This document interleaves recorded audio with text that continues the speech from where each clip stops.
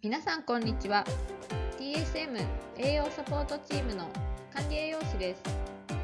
私は TSM 卒団生ですが管理栄養士として食事の面からサポートをさせていただいています。第1回目の今回は小中学生のジュニアアスリートの食事の取り方についてお話をしていきます。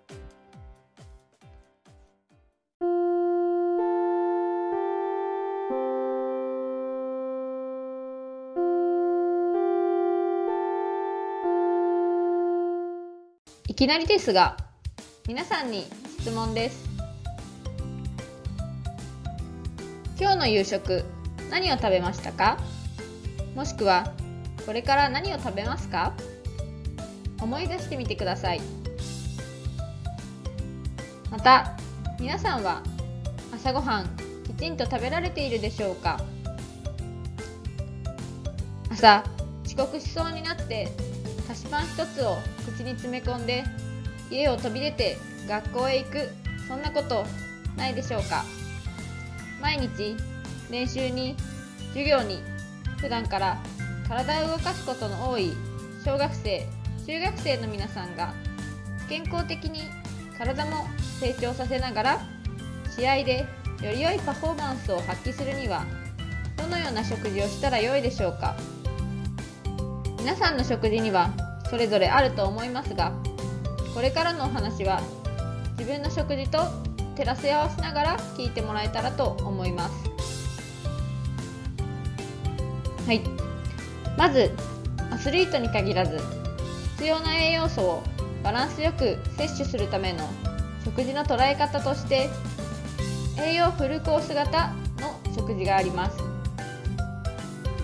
これは普段私がサポートしているチームのある日の朝食になります。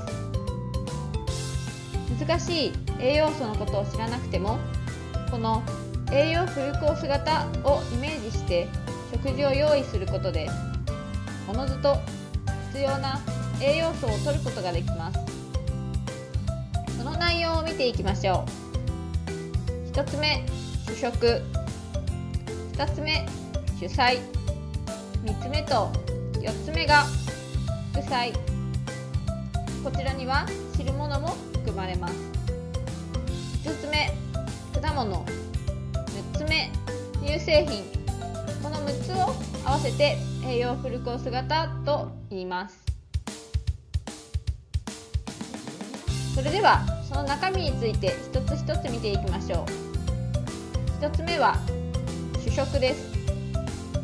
主食は主にご飯パン麺類芋類のことを指します炭水化物の補給源となり体の中で消化吸収するときに胃腸に負担がかかりにくくスムーズにエネルギーとなってくれますまた炭水化物は脳のエネルギーとなります。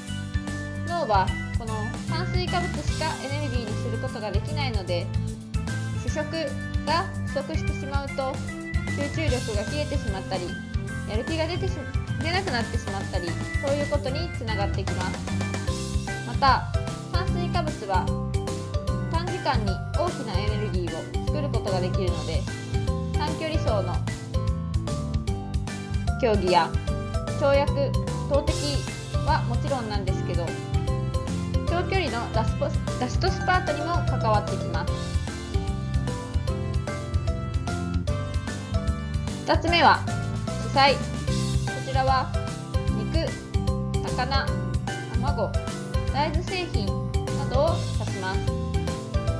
主にタンパク質ビタミンミネラルの補給源となります。筋肉や皮膚など私たちの体のほとんどの組織はタンパク質でできています。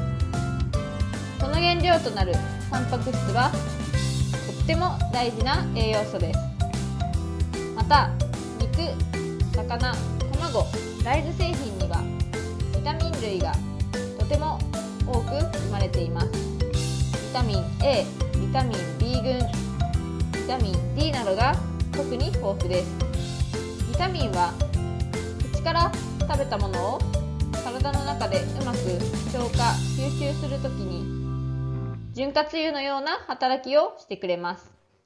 そして鉄分やカルシウムなど元気な体を作る運動する際に欠かせないミネラルも豊富です。3つ目と4つ目が副菜です。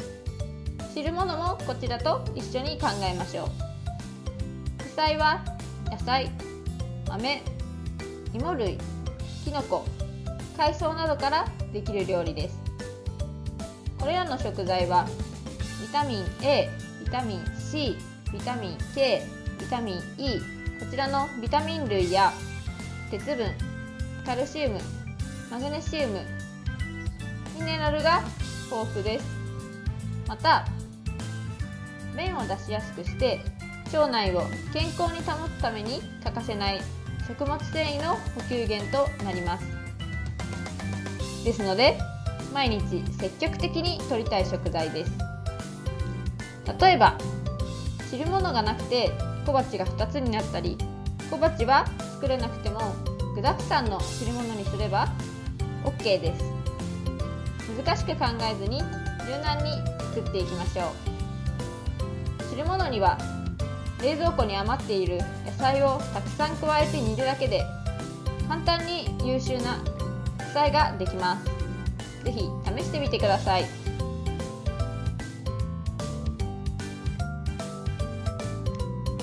5つ目は果物です。果物は大好きという選手も多いのではないでしょうか。甘くてみずみずしくてとっても美味しいですよね。果物は栄養価も高く活用しやすい食材です。旬のものを選ぶと特に栄養価がアップします。みかんやオレンジなどの柑橘類キウイフルーツなどの酸っぱいと感じる果物にはビタミン C がたっぷりです。またバナナやリンゴぶどうなどの甘い果物にはビタミンは少ないんですけど炭水化物が多く含まれるのでいいエネルギー源となります。ですので練習や試合の時の補食にぴったりです。持ち運びも簡単で暑い時にも食べやすいので是非活用してみてください。6つ目が乳製品です。乳製品は牛乳ヨーグルトチーズこれらのものを指します。骨を強くするために必要なカルシウムとビタミン D の供給源となります。ビタミン D はカルシウムの吸収を助けてくれるのでカルシウムと一緒に摂ることをおすすめします。また乳製品はタンパク質も多く含まれるのでこの補給源にもなります。皆さんこの小中学生という時期は一番が成長する時期になります。ですのでまさにこの人生で一番成長している時期にカルシウムビタミン D を摂ることが非常に重要になります。毎日取り入れましょう給食の牛乳も残さずに飲みましょう。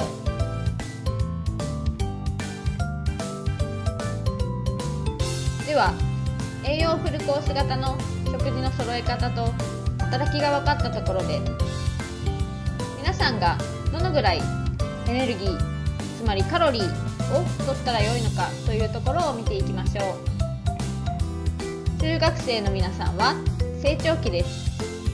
つまり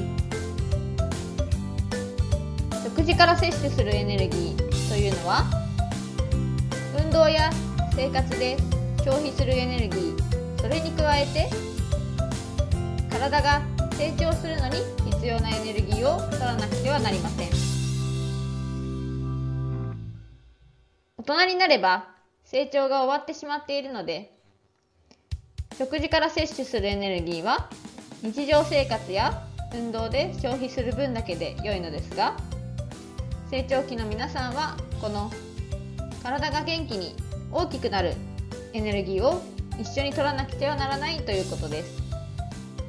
太りたくないなとか長距離選手で多い痩せないと走れないなそういうふうに思ってしまって食事量を減らしてしまうと体が生きることだけで精一杯になってしまって成長するところまでエネルギーを使えません。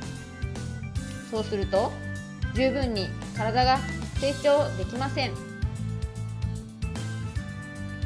そうなると怪我をしやすくなってしまったり骨が弱くて疲労骨折を起こしてしまったり女の子だと月経が来なかったり止まったり月経以上につながってしまったりします。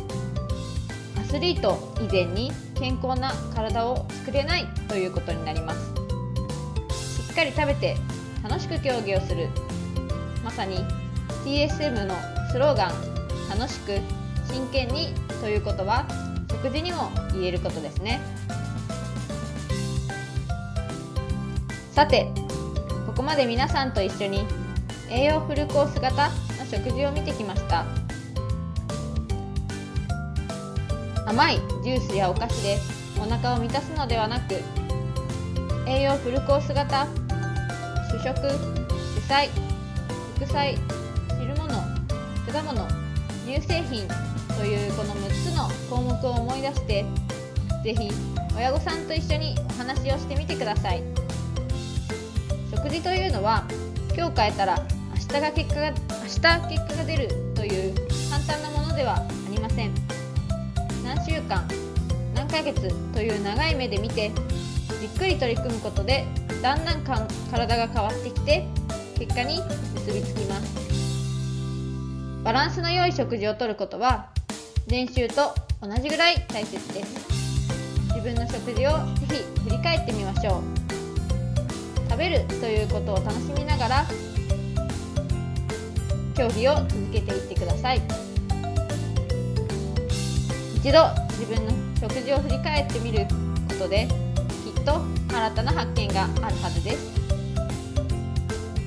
以上で終わります。動画のご視聴ありがとうございました。